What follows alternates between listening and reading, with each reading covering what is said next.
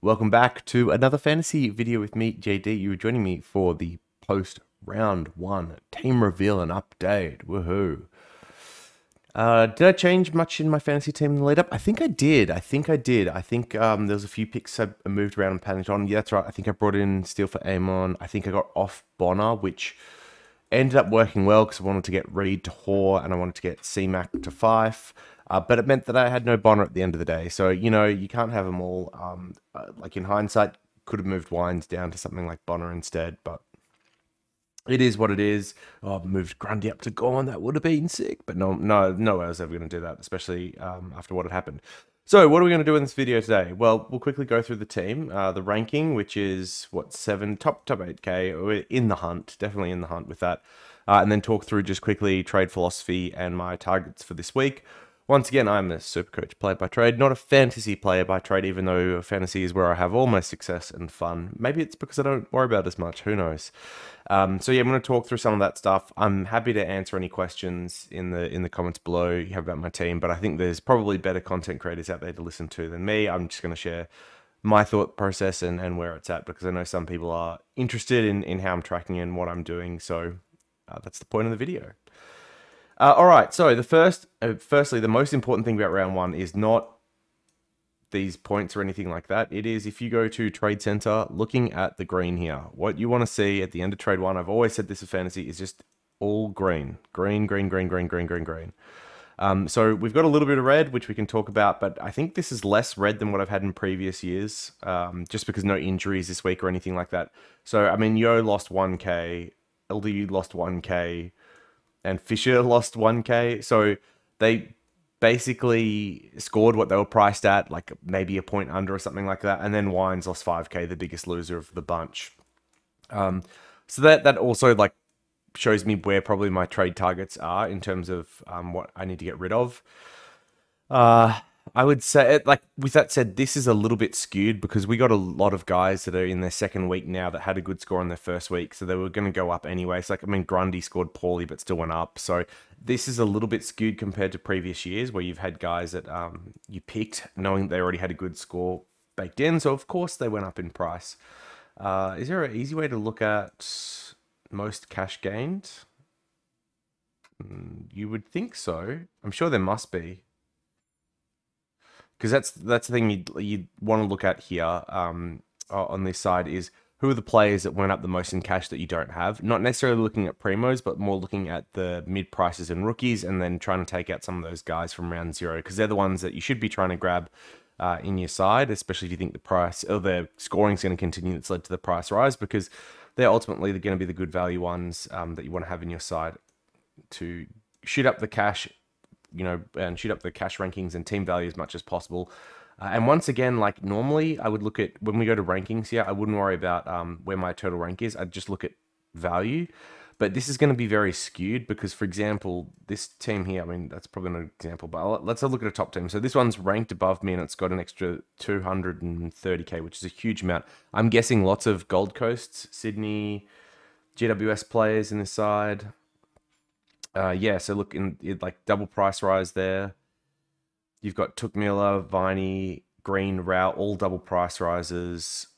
Grundy, yeah, I mean, like look look at all these players, double price rises. So this team is ranked above me, two thousand spots, and they've got higher team value. But this is a much worse team than mine, and I would I'm glad I don't own it.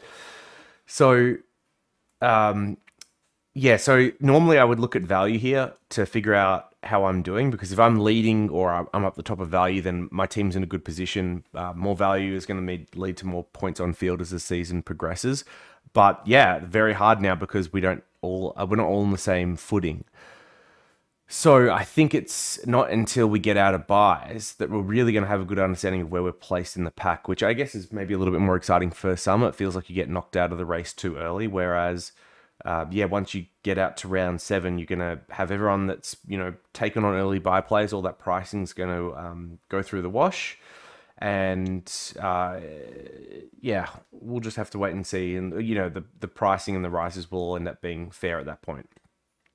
So I don't think outside of Whitfield, Grundy, and Heaney, I don't have many of the guys that have gone to price rises that were expensive premiums, and those that did jump on the Rouse, Greens, etc., are going to get extra value on their sides, and especially if they took on like you know Campbells and those types as well. Uh, all right, so then trade philosophy for this week. What do I need to do to improve my side? Um, so uh, yeah, I've kind of already touched on it, but I just want to create as much cash and, and generate that as much as possible. Um, the types of players. Oh, is it in here that I can look at price movement? Mm, dollars per point is kind of useful. It should tell you something like which rookies and mid prices. Yeah, it's got a few of them. Maybe this is the best view. There has to be a view which tells you uh, which players move the, the most money. Is it, oh, Stat Center? This could be it. Round price change. There you go. Yeah, so you can see like all the players that have played two rounds, of course, have had the biggest price rises so far. And so teams that are stuffed full of more of these are going to end up looking much better than others. Uh, I wish there was a filter to remove those that had two because then it can let you look for the ones that have played just the one game that you should be jumping on. Um, you, so you can see Oliver Dempsey here is the largest price mover of those that have only played one game. So he's probably a priority for a lot of people. Uh, who else we got in here? I mean, Perkins. This is not a good good pick, I don't think, uh, especially with Parish coming back. Um, some of these defenders not really. Who else we got in here? Xerri is obviously, I'd say, a pretty good pick as well at his price. So for those that have Grundy and want to jump off, I don't think you have to jump off. Grundy's um, still got an achievable break even this week, from what I understand. It's like 70s range, which you could definitely do. Essendon has been historically a tough matchup, but he could get there. But yeah, if you don't have uh, Xerri and you do have Grundy, I could see people jumping off Grundy going to Xerri this week. That makes sense to me as a as a little play there. Uh, and then that gives you the type of money to get someone like a Jai Clark up to a Dempsey. Like that's totally uh, on the cards. Bonner, another one in here as well, which is a pretty um, yeah obvious one. A lot of people talked about him. I had him. Annoying that I didn't start him. His money went to a good cause though he's someone you could look at this week. Obviously, Sinclair comes back, and there's a little bit of concern about what his role looks like with Sinclair back. Does Sinclair go into the mid and Bonner continues to play his role?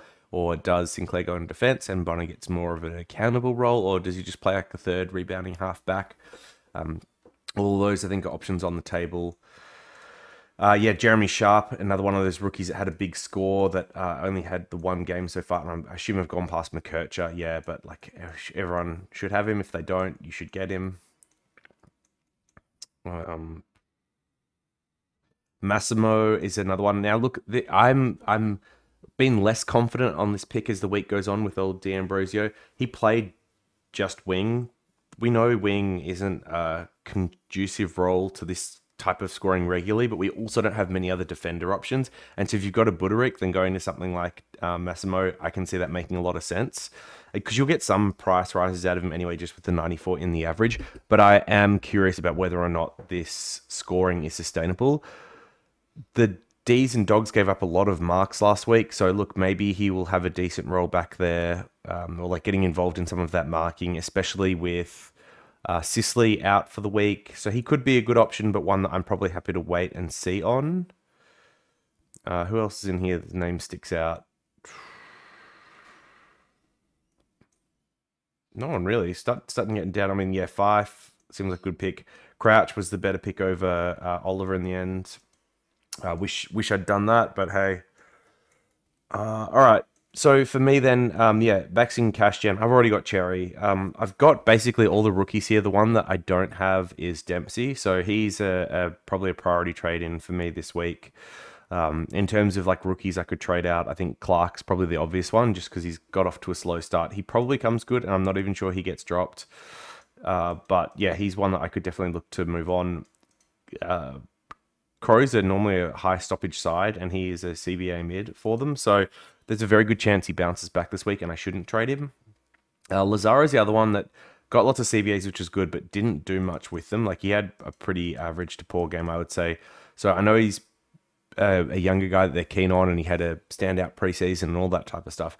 But I do wonder if he ends up getting a vest or just dropped this week. I think that's possible, especially if Simpkins returning from that concussion, uh, given that you know Simpkin played that half forward role, which I think Lazaro goes into at times. So.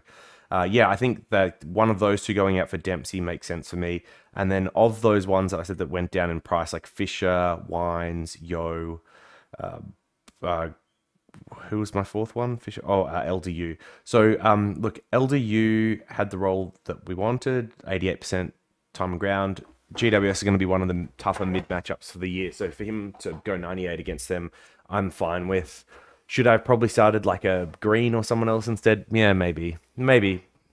Uh, but I'm I'm okay with LDU. I still think he's going to end up going up in price overall, not down, as long as he stays fit. So I'm happy to hold on to him.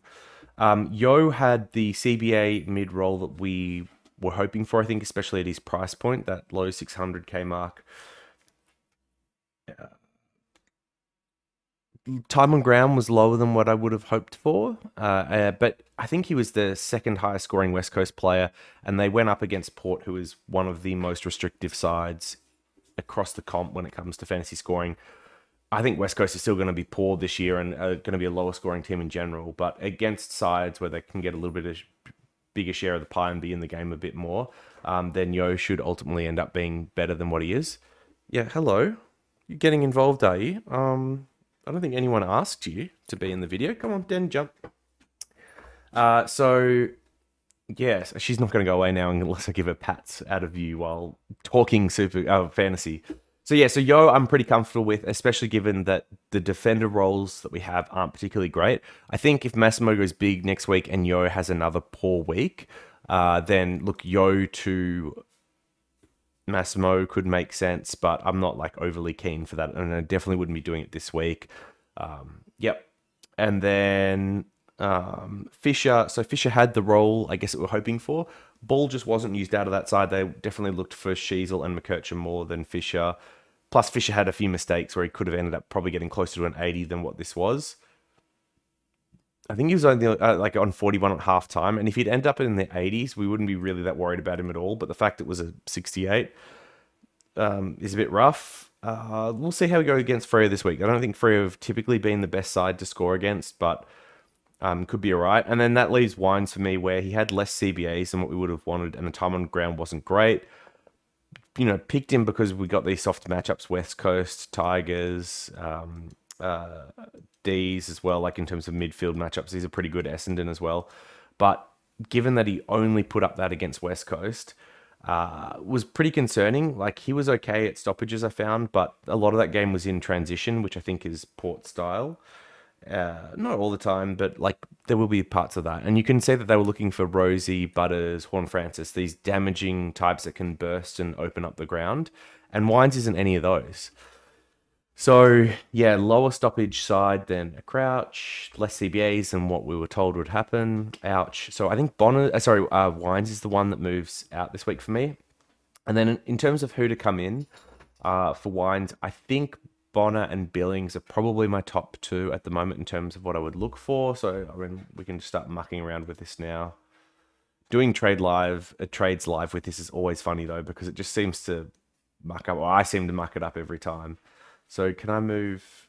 I should be able to uh, pick this right. Oh, yep. Swap, swap. Uh, Reid or Wilson into my mids. Let's go Wilson. Why not? And then we will add in. I think Billings is where I'm leaning at the moment. Uh, and then 190k off the back of that, which gives me enough money to turn something like a Clark, trade him out, put Reid into the midfield then, uh, and it lets me get Dempsey as well, just to get that cash in going. I don't think Clark is a must trade out, especially if he holds, but just, you know, I've kind of got the luxury of jumping on these price rises, which works for me. And this leaves me 131k in the bank, which is pretty nice because if I do need to jump on Massimo, um, uh, Bonner next week, I can. Uh, or it lets me maybe do something with Grundy if he has a second poor week in a row, and I can um, look at getting off him next week, which might be the case. So, uh, all right. Um, most important thing is, oh, what happened to the add-on? I swear I had an add-on. Did I not? That that uh auto sorts. Oh, maybe it's gone. Oh, there we go. Yes, sort. Sort by price. All right. Um, because if your team's not sorted by price, it should be an invalid entry and you're not eligible to win at all. All right, so in terms of like rookies and captain and vice captain this week, haven't really looked at it too much. Oh, that's interesting. It kept my um, Tristan Xerri E and Barnett C loophole active. Um, crazy. Oh, it didn't. Yeah, it doesn't. It doesn't seem to muck around with anyone that has ease. All right, that's right. Price sorted. It's fine. Um, so I need to think about who I want to field and who not to. Um, for this week, and I haven't really looked at fixtures that much or anything like that. Uh, what dogs just gave up a bunch of marks to the uh, D's. So uh, Sexton, I think I want to um, field this week. Dempsey's got the Crows. It should be a tougher matchup. Cadman's got a nice matchup against the West Coast Eagles, and he is someone that could have a spike game. So somewhat interested in getting him onto field a little bit. Um, Sharp's got North this week, and we saw North just give up a bunch of points to GWS. Um, their mids, you know, they're playing that outside kind of shoot 'em game. So yeah, like Sharp, I like. Um, like Sanders, I'm probably off this week just given that he got subbed out and the Suns look to be a tougher matchup. Reid's got GWS, which looks to be a tougher matchup unless you are a half back like McKercher and Sheezel. Uh, and look, Harley Reid has been going down back, so could he end up being a, a good option this week? Yeah, possibly. Uh, Wilson, I'm not sure if I love him against um, uh, the Pies the G. So who do I end up fielding here? This is a bit tricky. I could go something like maybe I take off um, Wilson for like a Cadman. It's best 18 week this week. So he could have a big score like and be worthwhile fielding against the Eagles. I should check to see how big the other scores against the Eagles were from the forwards because obviously they do have some defenders in McGovern and Barrass that can actually hold key tools, which North don't really have. Um, but yeah, this is kind of what I'm I'm weighing up this week as to which of these like rookies to have on field and who to bench. And then yeah, I think Dempsey, Billings, and Bonner are probably my top three priorities this week. But depending on your side and your structure, I think Xerri, um, uh, D'Ambrosio, Sharp all make sense as other options as well.